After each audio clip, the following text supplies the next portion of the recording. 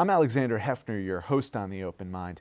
As we document and work to reverse the resurgence of authoritarianism in the United States and around the globe, we welcome an expert, Yale University philosopher Jason Stanley, author of the edifying and essential Random House volume, How Fascism Works The Politics of Us and Them. Stanley told Dana Milbank of the Washington Post that the Trump rendition of these tactics uses emotion to circumvent reason, to overwhelm reason, wanting us to get the situation in which there's such fear and suspicion that the only happiness is winning over his enemies. These are Jason Stanley's words. And he added in an interview with Vox I think of fascism as a method of politics. It's a rhetoric, a way of running for power. Of course, that's connected to fascist ideology because fascist ideology centers on power. But I really see fascism as a technique to gain power. At this year's philosophy conference for high school and undergraduate students at Stony Brook University, I was so pleased to interview Jason and eager to continue that exchange for our television viewers and digital viewers now. Welcome, Jason. A pleasure to see you again. Thank you so much for having me on this great, iconic show. Oh, you're very welcome. You say that fascism is a tactic in effect, but how would you describe your peak concern right now in the United States about the demagogues' not just survival, but permanence here? Uh, I, I think the, my, my peak concern is with the idea that political opponents are traitors. And so, if political opponents are traitors, if Democrats, the liberal elite, the cosmopolitans are traitors. And if they, they have this control over the media, uh, universities, and the press, then people are wont to think that any tactic is legitimate to suppress them. Voter suppression, uh, packing the courts, uh, changing libel laws, remaining in office. So when you set up the political arena as war, when you define yourself in terms of an enemy, that not positively, but in terms of an enemy, then you set things up that all is fair. All is fair in love and war. Well, I remember that moment when Trump tweeted, enemy of the people, the press are the enemy of the people. And to me, that was the first of many statements that are impeachable in and of themselves. If we have a democracy, if we are governed by constitutional principles, including the First Amendment, chiefly the First Amendment, his utterance that enemy of the people are, are the media, to me, that's impeachable. Well, uh, I, I, stick with my academic areas of expertise, and they do not, do not include the conditions for impeachability. Sure. Uh, but I will say about the rhetoric, and my, this does include my academic area of expertise, that the rhetoric is extremely dangerous. Now, we don't have a clear sense of how the rhetoric leads to these strongly anti democratic outcomes, like purchasing uh, the press, like, like changing the laws on the press, creating uh, enmity and, and backlash against the press, violent reprisals, threats. I know it's much harder to be a journalist right now than it was five years ago. Uh, I've, heard, I've heard that from enough sources, and I experience it to some extent myself. Um, but we're in that phase in authoritarianism where we have the authoritarian rhetoric, and we are slowly seeing, or rapidly seeing, certain effects. Uh, what effects are we seeing? One, we're seeing a welcome effect of people recognizing that the rhetoric is strange, and uh, but secondly, uh, we're seeing so we're seeing differential effects on uh, the uh, the people it's targeted against versus the supporters. I think the supporters are doubling and tripling down. Uh, this kind of rhetoric is meant to reinforce the supporters' belief that it's a war, that they face an enemy, that politics is just about a war. If you see the, uh, the Steve Bannon movie done by Errol Morris, American Dharma, uh, Bannon talks this way. He's like, we want to make the political arena like war. And that is really the core of fascism. That's Carl Schmitt's view, uh, that, that you define yourself by picking an enemy. If the language is war, like you're saying, that doesn't necessarily translate into genocide or into censorship, um, the warlike posture and lexicon of Bannon and Trump we can say objectively from the U.S. perspective, yes, he's threatening CNN and AT&T now corporate owner on a daily basis. He's constantly chilled the press, uh, made it more vulnerable. You can't say definitively from the emergence of the rhetoric how it's going to go from here or where it's going to go from here. We, it's up to us. I, I think that way of talking, you can't say definitively, locks you in because there's no stance from which we can stand apart and say that we are not involved in what's going to happen. So it's going to be up to us. It's going to be up to the press to stand up to this. It's going to be up to the press to stand up to, for example, the threat to CNN that Mr. Trump made today, I think, uh, uh, where he said that he essentially threatened them calling for better press. So the press, unfortunately, the, the press has been focused on a kind of infotainment model. Uh, that, that this is one reason this show is so crucial, because this show is not focused. It goes to, into a deep dive in ideas. But the infotainment model requires this access to audience. It requires uh, it requires a connection to government and corporations of the sort that Noam Chomsky and uh, Edward Herman explore in Manufacturing Consent. Uh, the press requires access, the press requires these things. And so the press is, to some extent, in this kind of market for free marketplace of the press, beholden to corporate and government concerns. How do you take that reality, which is inequities in this, in this country from the American perspective, and, and uh, have a press that's going to own those concerns without giving fuel to the demagogic exploitation of a, a race war or uh, an economic war?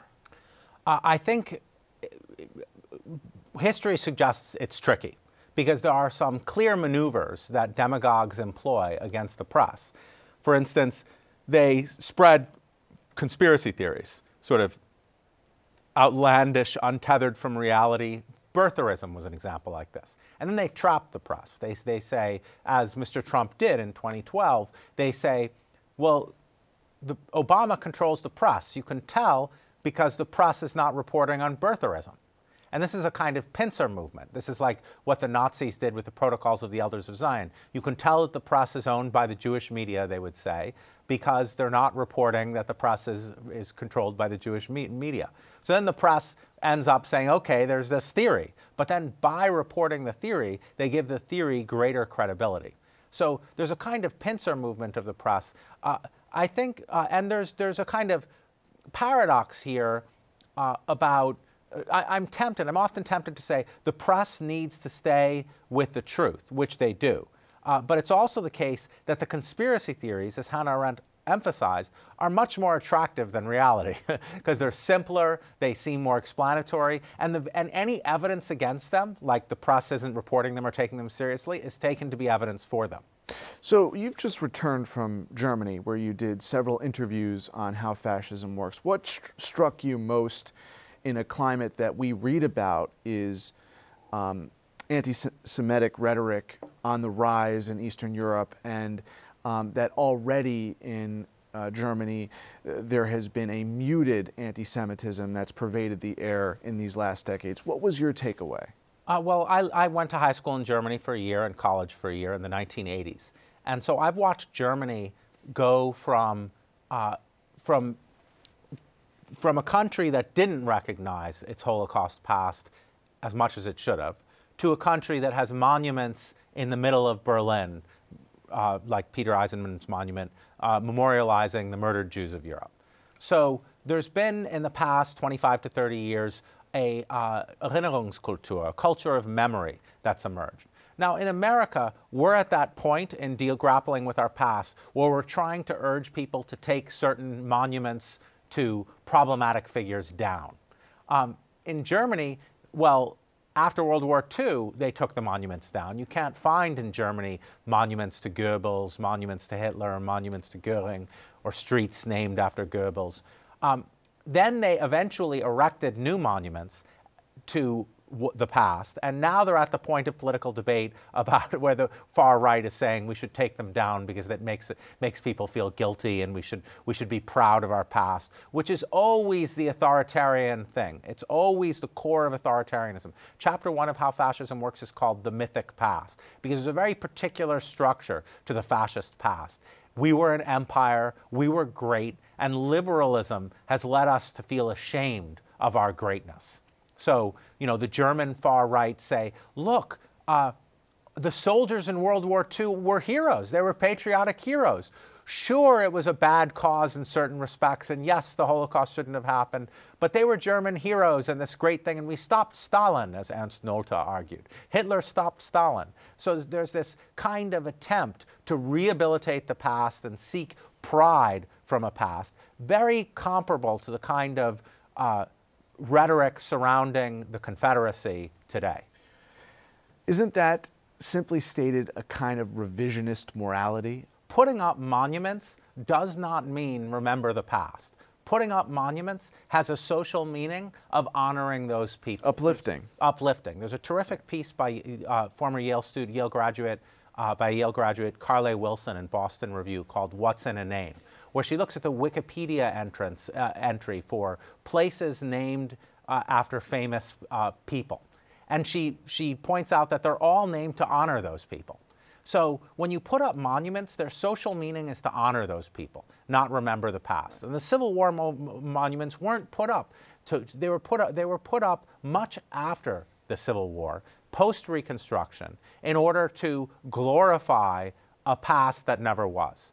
And what's particularly problematic now is this kind of revisionism is represented as a sole truth against multicultural postmodernism. Because they, say, look at what the universities are trying to do. They're trying to get you to see multiple truths. We need to just have one truth. And the one truth is the truth of the experience of the dominant group. Uh, in actuality, real truth, what you have with gender studies, with African American studies, is you have uh, the exploration of history as experienced by marginalized groups. One point in time is experienced differently by different groups. And what's important in the search for knowledge is to aggregate all of those different experiences of that one point in time to understand one po that point in time. And what you have in this current moment, in the authoritarian moment, in trying to recreate this myth of a past and, and re, re, redescribe hateful ideologies as somehow noble, is you have this attempt to say, let's just have one dominant truth. It'll help for social co cohesion. Uh, so sometimes they will give excuses for this. Uh, du Bois lambasts this in the final chapter of Black Reconstruction, the propaganda of history. Um, he says you should so so we need we need to focus on the fact that truth is very complex the actual truth is very complex because different groups experience it in different ways. And if you're going to teach history in an accurate way it's not going to be this simple glorifying narrative. Right. Well certainly there was disunity and in reunifying as a nation um, because of the politics of reconstruction we accepted decades and decades of, of Jim Crow. So those reconstructed monuments did represent the truth to the people there. And it, I think it is a local and state matter insofar as those aggrieved by those statues and their meaning ought to have the conversation with the community. But let me ask you this. The, the question of liberal democracy, you know, there was a point at which conservatives did not politicize liberal democracy. Now you have in Brazil, in Poland, in Hungary, you have people who are promoting illiberal policies as the antithesis of liberalism and uh, in furtherance of what they perceive to be conservatism. I asked Yascha Mounk the same question I want to ask you. How did we get, when did we really get to this point? Now, first of all, I would not call Bolsonaro or Ban etc., conservatives. I think conservative, what we need is we need conservatives back. We need right. a powerful conservative movement to debate with that we, that those of us who aren't conservatives can debate with, a legitimate uh, we, we, need libertarians because some problems have free market solutions. We need democratic socialists because some problems have uh, government solutions and public solutions. So I don't think these leaders are conservative at all. I think they, they uh, unfortunately, history shows us that fascism threatens when conservatives fall for these types. So that's the dangerous thing. So I'm very heartened you say that because that is what is the truth. That yeah, well, truth. we, we, we These, need. But we they've need, made their money on being quote unquote conservative. I mean, they've made their political. Well, the power, the power, because the power. I think if you look at if you look at what's going on, like what unifies all these far right movements ac- uh, across the across the world, uh, besides anti-immigration sentiment, climate change denial. They're all, the, the far right parties in Europe are now endo- endorsing climate change denial. Bolsonaro, of course, Trump, of course. So, what's behind climate change denial? denial? Oligarchy, oil and energy concerns. So, what we have is we have the influence of, of large money in politics. And the history of fascism tells us this. History of fascism tells us big business unites behind fascist politics, fascist leaders uh, and it enriches the fascist leaders, their families, and, the, and, some of, and some of their, a few of their supporters, their loyalists, and bankrupts the majority of their supporters, and does so for the benefit of the oligarchy that's behind it. Uh, it smashes labor movements. Uh, Hitler smashed the labor movement uh, in, in, Germany. Uh, so, so what you have is not conservatism, which stands up to this depredation of our public life, uh, but you have uh, power, po- you know, money in politics that goes behind figures like Bolsonaro, Putin, Orban, who seek to transform their countries into, you know, essentially, you know, mechanisms for enriching uh, certain concerns, including themselves. So, so that's there's a certain cynicism there. Now, in moments when you transform the political arena into war, then you get people who are conservative to say, well, at least they'll do certain things for me. Like, the, agenda like as we see in our own country with the transformation of the Supreme Court, with voter suppression laws, we see these things that, you know, I don't think voter suppression laws are conservative either. Uh, but, but we, see, we see conservatives uh, saying, okay, this is going to be a liberal, but it will retain our, our lock on power. And that's really unfortunately cynical and you know you can understand one can understand why it's tempting but if authoritarianism and fascism are going to be resisted we need principled conservatives we need the Justin Amashes we need history shows that when conservatives go for these figures that's when we have real problems and we need a press that is going to not self identify people because they say they believe in the Constitution as constitutionalists. You're, you're making a very important point about the press. The press tends to go with the with the propaganda, with many of the propagandists' own terminologies, right. like Frank Luntz, who's a very skilled propagandist. I mean, he introduced climate change rather than global warming because global warming sounds scarier.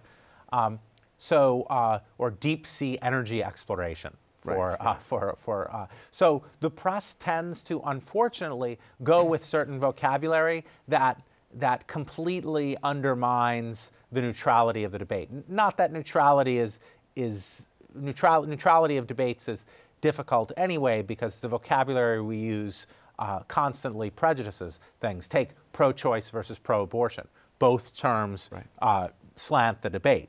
So it's tricky, but the press can do us a favor and, and, uh, and not call, for example, and here I disagree with Yascha Mounk, not call the native. I understand why the press does not want to call Orban a fascist. Okay, I get that.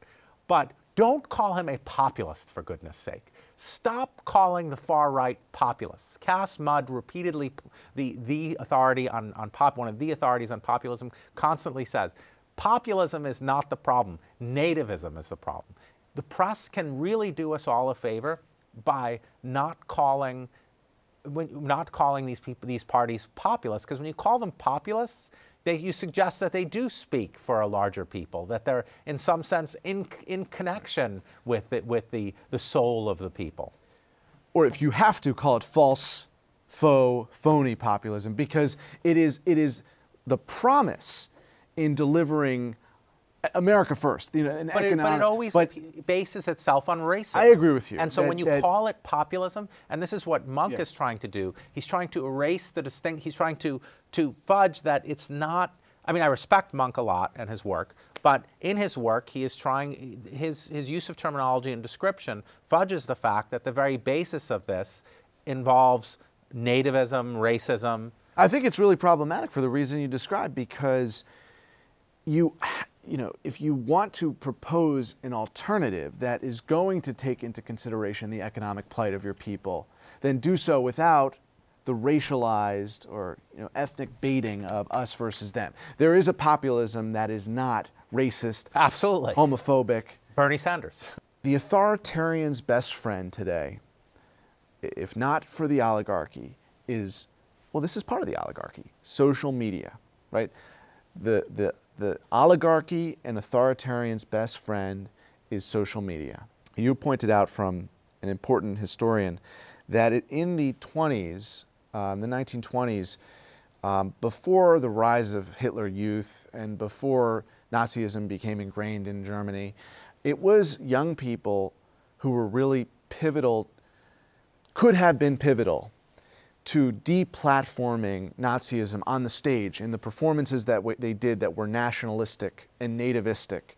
Um, and to my mind, it is this generation coming of age, uh, graduating from the university or recently graduating from the university, who are going to have to say to Twitter and Facebook and these companies, no, there is not space for Nazism. Free speech cannot be free speech without acknowledging what it means to be in a free society, what the precondition is to live in a free society, and that means you can't have people who are harassing you and who are explicitly engaged in bigotry campaigns on your platforms. And I just wanted to give, give you an opportunity here to talk about how, in the analog to today, young people can attempt to protest the or uh, try to deplatform hate speech on these platforms. So, so young people are very much the key, which is why we always find universities being attacked. Brazil, Bolsonaro has threatened to defund universities by 30% because there were large protests, anti fascist protests at universities. In the United States, of course, we have uh, uh, a sort of politicized attack on universities uh, because the students, of course, are going to be the source of any protest movement. Now, as far as social media goes, we had fascism before social media. and there's a, uh, th- but I agree that social media has made verbal harassment campaigns much more damaging and harmful reputational destruction, things like this. So, and that's a problem on the left and the right. Like, uh, you know, there's, there's sort of social media mobbing that I decry on, on, on every side. And social media has definitely um, changed how democratic discourse functions. And we have to deal with that. And we have to deal with that simultaneously with what I call, what I think of in my previous book, How Propaganda Works Treats, uh, the fundamental uh, difficulty with democracy, which is outlined already in Book 8 of Plato's Republic. Democracy requires free speech, and yet free speech will lead to the, the end of democracy because it will enable demagogues. So, this is the fundamental paradox of democracy. It doesn't have an easy solution. It didn't in Athens, and it does not today. Isn't free speech really only guaranteed in a free society that respects the dignity of all people? Can't we we can't even use we shouldn't use the idea of free speech unless people are accepting a compact with their fellow human being that they respect their dignity. So that's right. The, the uh, liberal democracy has two great values. One is freedom, and the other is equality. And they're connected, as is often recognized, and really two sides of the same co- coin. If everyone has freedom, then you have to give everyone freedom to operate in their own space and do what they want. And that leads to equality, because everyone has equal freedom. Uh, so if you use your free speech to undermine the freedom of others, uh, to, to restrict their actions, to deny them that space of freedom, then you're undermining the tenets of liberalism. Uh, and you're undermining the, uh, the freedom itself. So there's this complicated and delicate uh, interweaving of things. If you deny people's humanity, if you deny people's uh, equality with your free speech, then you're also encroaching on freedom because by denying them their equality, you're denying them uh, a, a space for their own freedom. Free speech cannot exist unless you have a free society. Jason, thank you for being here today. Thank you so much. And thanks to you in the audience. I hope you join us again next time for a thoughtful excursion into the world of ideas. Until then, keep an open mind.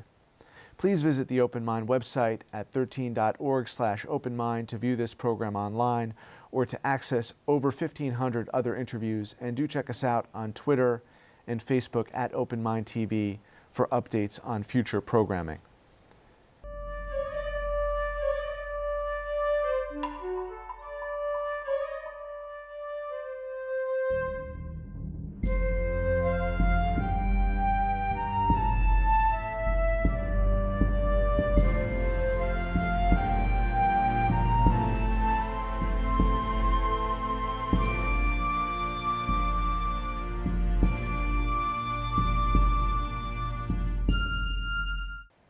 Continuing production of The Open Mind has been made possible by grants from Anne Olnick, Joan Gans Cooney, Lawrence B. Benenson, the Engelson Family Foundation, Alfred P. Sloan Foundation, the John S. and James L. Knight Foundation, William and Flora Hewlett Foundation, Joanne and Kenneth Wellner Foundation, and from the corporate community, Mutual of America.